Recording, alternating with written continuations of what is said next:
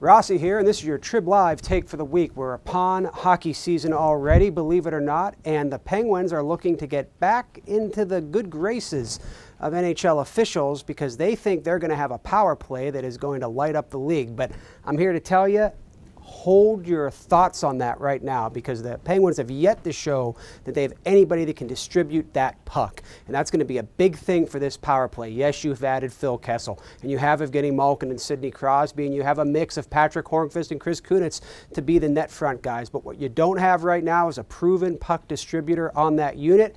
And it's a problem because Chris Letang has never shown that is his great skill. Now, you need to have Letang on the ice, unfortunately, for the Penguins because he's the best guy to carry the puck into the zone on that power play. And if you look at this Penguins defense corps, and as young as it is, and as lacking as it is in physicality, you would have to think that early in this season, head coach Mike Johnston wants the power play to be a dominant unit. It was that way for the first six weeks last season, clicking at around 40%. The Penguins hadn't had that success last season. They probably missed the playoffs. So what you want to look for early for these Penguins is can they figure out a way to get somebody to move the puck on the power play to guys like Kessel, guys like Crosby, guys like Malkin. If they can't, then it could be a really rough start for the Penguins who are looking to form an identity early in this NHL season. I don't have them making the playoffs this year.